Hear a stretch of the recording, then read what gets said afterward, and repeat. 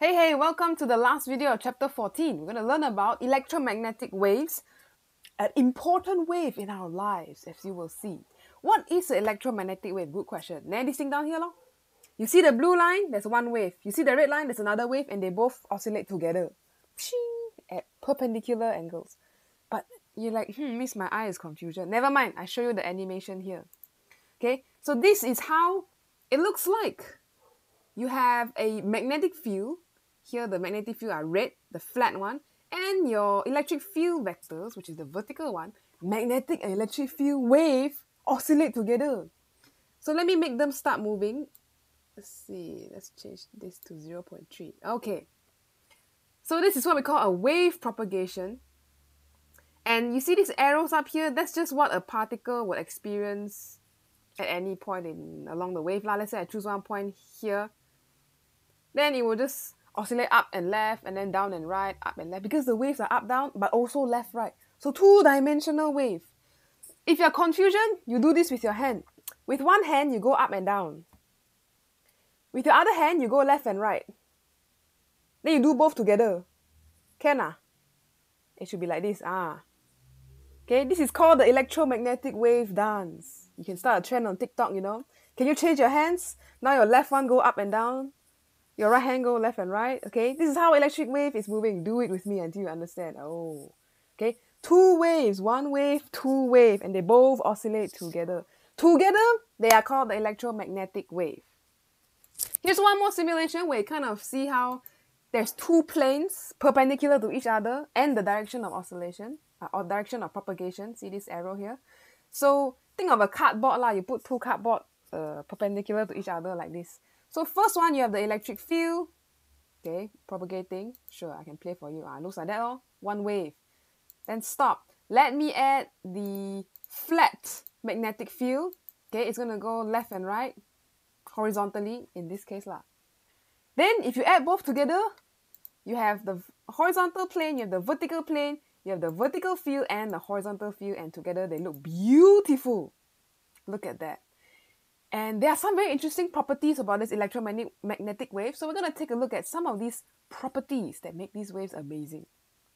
First property is, as we have pointed out, it's two waves, well, two fields, I should say.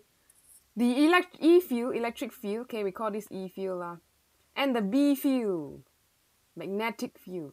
Why is magnetic B? Well, physics just decided to choose B field instead of M field, so we shall stick with B field oscillating perpendicular to each other. That's the planes that we're looking at. And also perpendicular to, I should put a comma, to each other, comma, and the direction of wave energy popula- uh, propagation. So that's this um, white, yeah, um, yellow color arrow here. So this is propagation. Okay, so everything is perpendicular to each other. You can have some speed lah, v, whatever it is. Okay, some speed propagation. That's where the energy is flowing. Okay, towards towards me over here. That's the first fact. Now, what is the second fact? We said this uh, energy propagation, right? But what what is that speed? Well, you can say that these electromag this electromagnetic wave, you know, it's like two waves coupled together, travels at some speed. What's that speed? Speed of light. How did people discover this? Oh, go and Google that. Go through the history of science, which is a very interesting topic for those who enjoy it. Anyway, uh, this is a speed of light, 3 times 10 to the power, uh, 3 times 10 to the power of 8. Very, very fast. Nothing should be going faster than this. In the vacuum, but at least. Vacuum. So this is a constant you will want to remember or know how to find in the data and formula booklet for exams or in your calculator. All calculators can get constants, so you just need to know how to press it. Okay, what's another property? The last one that you must must know is that this electromagnetic wave is a bit special.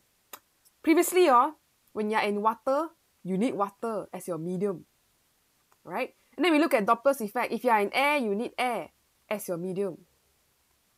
Okay, then the wave propagates through the air. But this electromagnetic wave, oh, does not need, you can, does not necessarily need a medium. It's a bit magical. It can travel in a vacuum.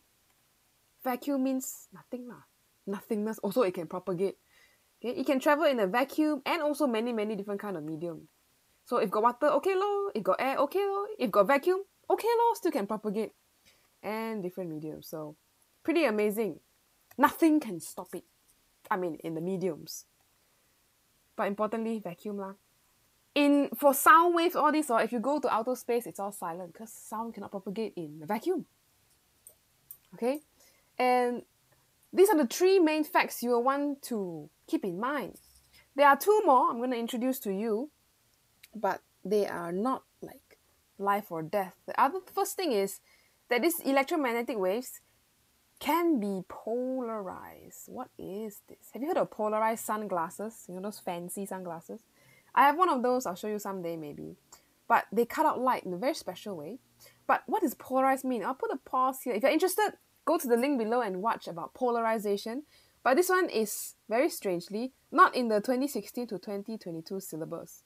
So you may you may find uh, previous past years that mention it, that be before 2016. After 2022, this polarization will come back. So kind of weird. Okay, so if you're in a 2022 syllabus, beyond 2022 syllabus, then yes, go and learn about polarization. But also, one more fact we want to point out is remember I said it travel in vacuum, right? So that also means that this wave can carry energy with no mass. What on earth does that mean? aka no medium needed. Okay, this is just a fun fact, okay? You will learn more about this in A2 Quantum Physics, Q Physics. But we'll just plant this little thought here. The electromagnetic waves are pretty amazing. Okay, so what should you know at this A level, AS level then? Well, the only thing you need to know now is some of these key properties up here, the top three. And also, you need to know the electromagnetic spectrum. You probably have seen this before in IG or SPM or CBSE or whatever other program you have. Okay, there are two main things here is in terms of wavelengths. Look at all these beautiful prefixes. Right side is in terms of frequency in hertz. Now, you need to memorize this. How you want to memorize it? Many ways lah. Okay, I suggest if you memorize wavelength, then you stick with wavelength. If you memorize frequency, then you stick with frequency. But how they relate is V equals to F lambda, right? We know this wave speed. And we know that electromagnetic waves propagate at the speed of light. So C equals to F lambda. So C is a constant already lor. So if your frequency is getting smaller, like you know, getting down to this kilocycle here, you see the wavelength is super long in kilometer range. Wow. So and if you memorize your wavelength, memorize, then you just calculate lah. Calculate frequency. If you memorize the frequency, then you calculate wavelength. Okay? So just memorize one side lah, unless you are you have a lot of extra brain bandwidth, then memorize both. Sure. But let's look at take a look at this. I recommend we start with visible light. So let's start with our beautiful visible light right here.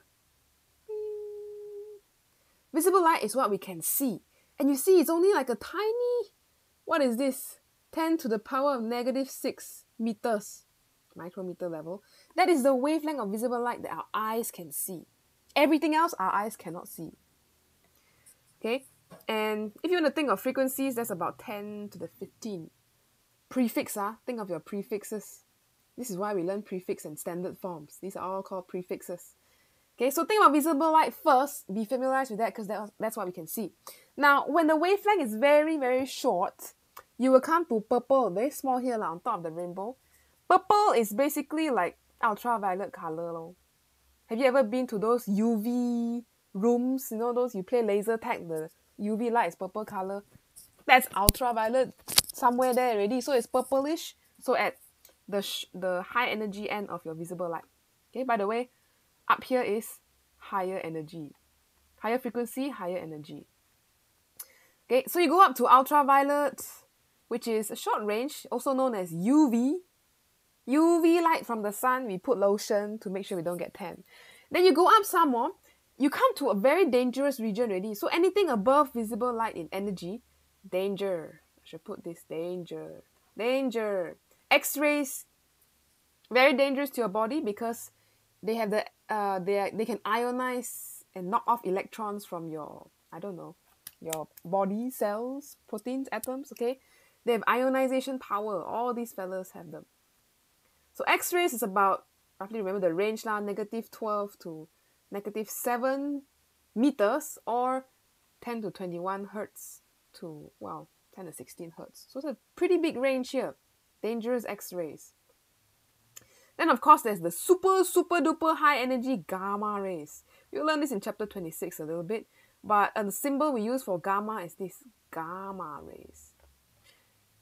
We usually don't blast this through human body because that's what we call like, I don't know, kind of like radioactive almost. Well, anyway, we'll leave that for later. But if you get a gamma ray hitting you, oh, you probably get cancer. I don't know. Actually, X-ray and ultraviolet also can get cancer already. So up here is the danger zone. Ultraviolet also kind of dangerous because skin cancer, UV from the sun. Okay, up there is dangerous. Below visible light, pretty safe. So you divide it in half. You must must remember visible light. What's the frequency wavelength? Then you come above that is dangerous. Below that is what? Okay. frequency of visible light. Let's go. Like I said, this area is not dangerous. Pretty okay to pass through our bodies. Firstly, we have infrared. Ah, you see the word here, red, right? That's because it's when you if you can see infrared is kind of a very dark red color, and you see the bottom of the rainbow is red color, so that's the lowest energy wavelength already. Okay, low frequency and the wavelength is longer. So below that is what infrared, lo? After the red color of the rainbow is infrared. We cannot see it. Some animals can. Plants can. I think plants can see them. Yeah. Anyway, you have like infrared camera, night vision camera. We also call this night vision because uh, you go to some security place, you see a camera there, it's kind of glowing red, but it's pretty dark. Actually, in that video, uh, you are very bright because it's shining infrared light on you. It's just that you cannot see it. So to you, it looks like, oh, it's a dark room, I can steal stuff. No, no, no. Infrared night vision camera. Well, the night vision camera can see you. Below infrared, you just remember it's a microwave already microwave oven ah, yeah, somewhere there. Ah. Yeah, you could think of it. This is kind of in the gigahertz, I guess, gigahertz range. Gigahertz to terahertz lah. Tera is 12 ma, giga is 9. So somewhere around there is microwave range. Um, yeah, roughly know that. And then you see all this radio, radio, radio down here, right? This one you just don't worry about what radio, radio you just know radio is somewhere here. Can already. All these are radio waves. And look at that. This is the landmark you want to remember. One meter. Very long. Oh. The wavelength is one meter. So anything larger than one meter is radio wave. And this is kind of like low energy already. So low energy. Okay, the cycles are very low, frequency very low. All wavelength is very, very long length long. We'll see more about radios in A2, whole chapter on communications, lots of fun stuff there too as well. Now, one fun trivia. Where do you think our Wi-Fi is among this whole spectrum? Wi-Fi, Wi-Fi router used for your phone. Try and look through gamma, X-ray, ultraviolet, infrared, microwave, or radio. hmm. Here's how we can think of it. Wi-Fi okay lah, maybe you Google it. Sure. But Wi-Fi is around 2.5 gigahertz to 5 gigahertz. So somewhere around here. Let me draw a Wi-Fi logo for you. Okay. And which is, well, can be dangerous for human body. It depends because microwave, there is one frequency for a microwave oven, which is water's resonant frequency. So H2O resonance. That's why your microwave oven can cook stuff that's water. And that is not too far away from your Wi-Fi frequency, which is why sometimes when people say, hey, we want 5 gigahertz, but also health concerns. Mm, we don't know about that. So go do some research and learn more about your Wi-Fi routers. And please don't put your Wi-Fi routers next to your heads or your phone next to your head. You, before you sleep, put plane mode or throw it somewhere further away, okay? So yeah, that's just electromagnetic waves, fun stuff. Now, what should you know about this? I said memorize, right? Because in the past questions, they will ask you to estimate. Let's look at some very short example questions. It's a few because they're all pretty much the same. First one is on page 9.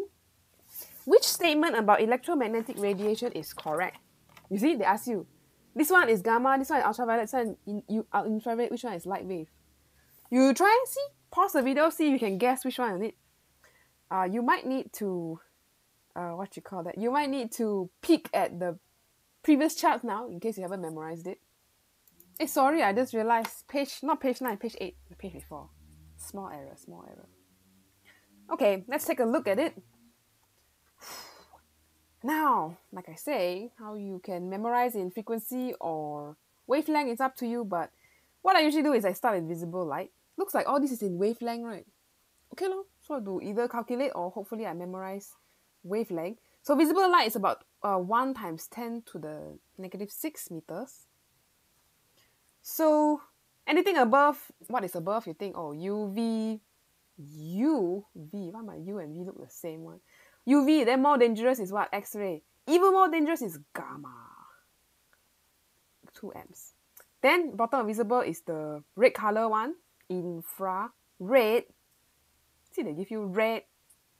Uh, below infrared is microwave, and then below microwave is the very long one, maybe radio wave. Microwave. Okay, so let's see. Waves of wavelength are high energy gamma rays. So kind of need to think about gamma rays. Gamma rays is roughly about times 10 to negative 12 meter-ish. So this is a bit too too small. Too small. These are like X-ray regions. Somewhere here. X-ray. So not A. 3 times 10 to negative 8 is ultraviolet. Sounds about right. Okay, 12, 9 here is roughly 10 to the X-ray is very big, right? 10 to 8 lah, somewhere there. 7 to 8 or 7. Ultraviolet, fair enough, possibly, okay, but I want to check the rest first. Times 10 to negative 7 are infrared, cannot be lah. 10 to the negative 7 already infra, so, uh, sorry, already UV, so here has to be shorter. So infrared is, well, shorter, small, uh, uh, short, sorry, not shorter, longer than 10 negative 6. So I'll put maybe 10 negative 5-ish. Mm, then the last one, light waves. Oh, confirm wrong. We know light wave is visible light. Maybe for that. 10 negative 6. Wrong. Best answer, B. Sometimes there may be two answers that are very close, so you need to gauge your way lah. Huh? Next two ones are on page 17. So try out these guessing games. Use the chart at first uh, if you haven't memorized it, but that's okay. Okay, so try at least these two, see what you get. Okay, first one. Which region of the electromagnetic spectrum includes waves with a frequency of 10 to the 7 megahertz? If you memorize in hertz, then you will see, hmm, some kind of frequency, but I want to calculate in terms of wavelength. Okay, so I calculate in terms of wavelength. Sure, let's try this since we have not tried this. C equals to F lambda. C is a constant. 3 times 10 to the 8. Frequency is 10 to the 7. Eh? 10 to the 7 got mega some more. Okay, lor. Mega hertz. So what's our wavelength? 3 times 10 to the 8 divided by 10 to the 7 times 10 to the 6. That will give us uh, 3 times 10 to the negative 5 meter. Oh, Negative 5 is just below our visible 10, negative 6 visible. So what's just below? I bet it's radio infrared. Definitely not radio, and these two definitely not, because these two are much shorter wavelength. This one is too long already, uh, longer wavelength. So infrared will be our best answer here. Okay, if you do the frequency, you memorize the frequency, be careful, here got mega, here got 10 to the 7 some more, okay? now, now, next. What can be deduced from a table of wavelengths? They don't give us the table in exam. Okay. Uh, in the electromagnetic spectrum. So you go through each statement and see what's wrong, what's right. Green light has shorter wavelength than X-ray. Shorter wavelength means higher energy. Green light, X-ray, no lah, wrong. Red light has shorter wavelength than green light. So shorter wave shorter wavelength means higher energy. No ah, red length red light is longer wavelength. No. Wavelength for radio wave is less than infrared. less than infrared. Wavelength range. Ah, be careful. Range means like how much of this wavelength spectrum. Interesting. So you go look at your table again. Oh. Back at our table, if you look, uh, what has the biggest range? X-ray is second largest. Radio is by far the largest. So how what is the range of possible ones? Okay, so if you come back here, wavelength for radio is less than infrared. No lah. Radio wave range is very, very big, very whole range. So that leaves us with D. X-rays less than radio waves. So that's all for electromagnetic waves. Just some ideas about what are the estimation of ranges. Okay, use use a chart similar to this. Create your own chart if something else makes more sense to you, and think of ways to memorize. This is the only thing in physics you can memorize. Okay, think of ways to memorize your thing. This is a picture from, as you can see, Encyclopedia Britannica. So that's all for electromagnetic waves. Go try out some estimation questions all in the description below. And that's it for chapter 14.